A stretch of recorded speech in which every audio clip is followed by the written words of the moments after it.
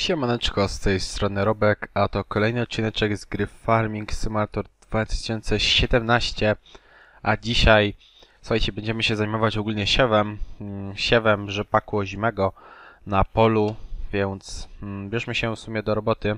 Widać, przedstawia wam się mój nowy nabytek, jakim jest John Deere 3650, ale tak naprawdę to jest 3650, E, w tym momencie Power Synchron, w tym momencie on ma 95 koni, ale chcę go przerobić na 115. Także taki oto ciągniczek. Mm, jak widać również zmienił się siewnik do mm, siewów. Nie wiem jakiej to w sumie jest marki. No i naturalnie e, agregat uprawowy mm, firmy Agromash. Aha, fajnie. Dobra.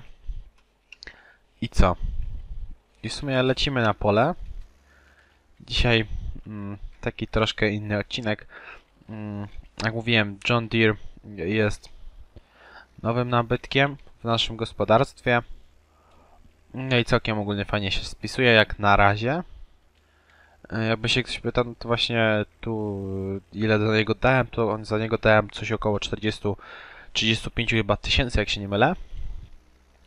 Jest to po prostu tymczasowy, znaczy tymczasowy jest, ogólnie to jest taki, można powiedzieć, pomocnik e, dla Ursusa, to jest 180, czyli po prostu to jest, można powiedzieć, taki mój pomocnik mniejszy troszkę, większy, większy, bo 90-konny Ursus jest e, 80-konny.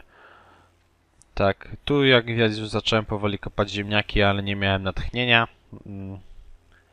No i stoi na razie Ursus 4514 z tym siewniczkiem. Czy z koparką? Bla, koparką. Mm, czekajcie chwilę. Dobra, musimy sobie opuścić siewnik. Siewnik, jakby się ktoś pytał, 4-metrowy e, e, oraz e, agregat również jest e, 4-metrowy. E, rzepak na stówę, tak. Sieje się. Sieje się. Mhm. Jeszcze najważniejsze, znacznik. Jak widać John Deere, John Deere już ma troszkę, e, jak to można powiedzieć, e, nabite godzin, bo już ma mm, e, jeden 1,5 motogodziny w ciągu ogólnie mm, w ciągu podniosłem Czekajcie, czekajcie. Hmm. Coś jest nie halo w tym momencie. A, widzicie. Odkryłem. Dobra. Hmm. Znaczniki. I Sieje się, nie sieje się, jejciu. Same problemy na dzień dobry. Dobra. Co ja dałem? DMH. No właśnie, DMH. Zwolnij się, zwolnij się, zwolnij się. Dobra, jeszcze raz. Mm. M, M. Yy. Sieje się? Sieje się, dobra. Hmm. nie wszystko ja to później poprawię. Także się nie macie co... Tylko znowu... Dobra, siejemy ogólnie chyba bez znaczników dzisiaj. Bo to jednak... Yy, muszę non stop przełączać między znacznikiem a a siewnikiem. Ogólnie, no jak mówiłem, siewnik jest 4-metrowy, yy, agregat teoretycznie powinien być 4 i 4,2 metra, chociaż jest, jak widzicie, yy, o dwa lejki, dwa, dwa z tej i dwa z tej lejki jest po prostu yy, wąższy, a siewnik jest szerszy o te dwa lejki, no ale to nie przejmuję się z tym. Mm, Siew rzepaku, jak mówiłem, ozimego. E, Na zimę siejemy w tym momencie sobie, słuchajcie, rzepak. Już to moje jest drugie pole, które sieję w tym momencie. Jedno pole już zostało obsiane, teraz jak mówiłem, bierzemy się za drugie. Drugie pole to obsiane było tam trochę przed właśnie tą główną bazą. Mm.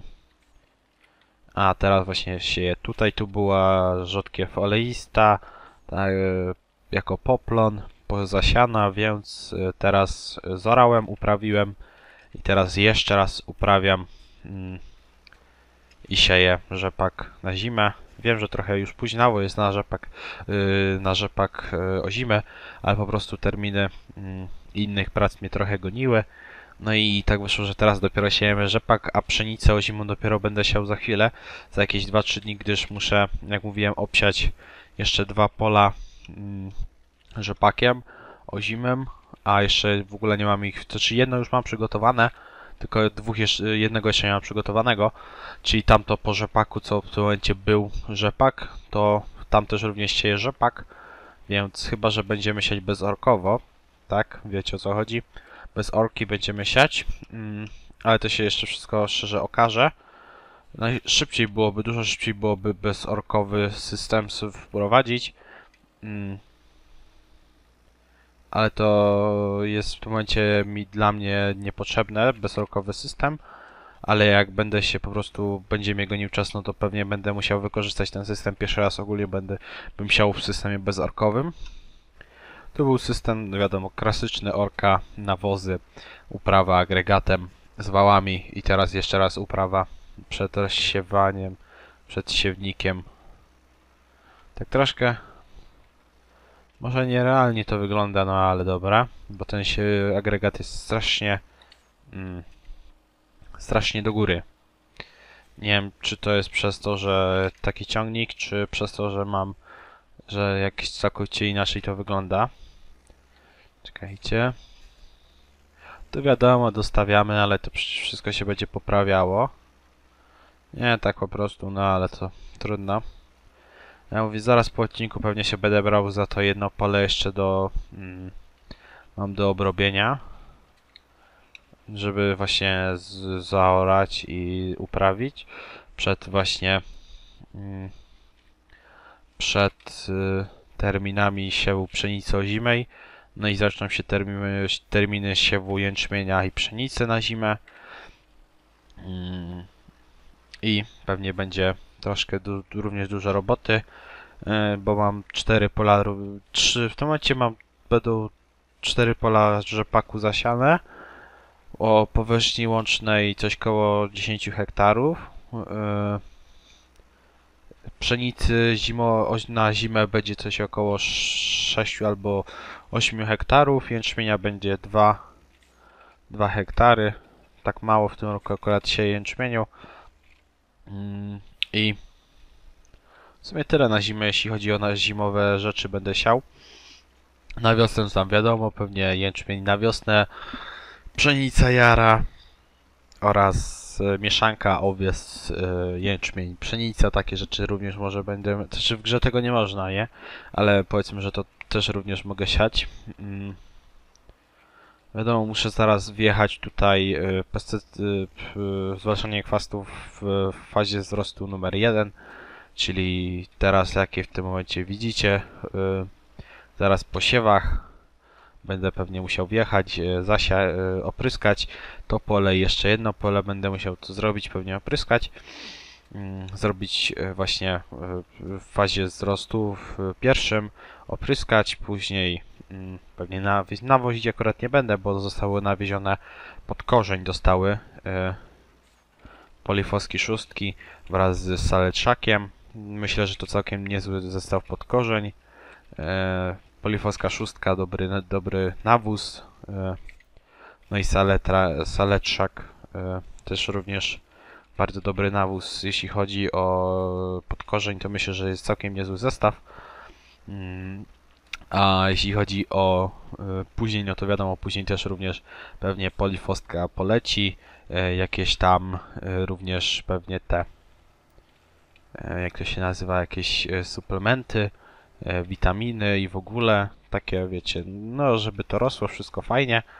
Mm, No i co? No jeśli chodzi o chyba dożywki, jeśli chodzi o rzepak, to będzie chyba na tyle. E, zobaczymy. Zobaczymy ogólnie jak wyjdzie w tym roku mi rzepak. Myślę, że całkiem nieźle wychodzi jak na razie. Dobra, podnieśmy. Mm. Właśnie nie wiem, pokażę wam, przyjadę w taki sposób, że wam pokażę moje plantacje właśnie rzepaku. Mm. Jak widać tu jest y, plantacja numer 1, pole numer 1, plantacji rze- rzepaku. Mm, Tam jest zasiane poplon tymczasowy, albo już na zimę chyba zobaczę. Tu jak widać mam pole po jęczmieniu. E, Tu jest chyba jęczmień na zimę wsiany. E, Tu będzie pszenica e, ozima wsiana. Tam chyba rzepak, a tu przed, przy gospodarstwie, co tutaj widzicie, co jest zorane, po, gdzie był obornik rozrzucany, tu najprawdopodobniej będzie pszenica też również na zimę. Tu był rzepak, więc myślę, że taka zestaw pszenica, pszenica na zimę w sam raz. Mm.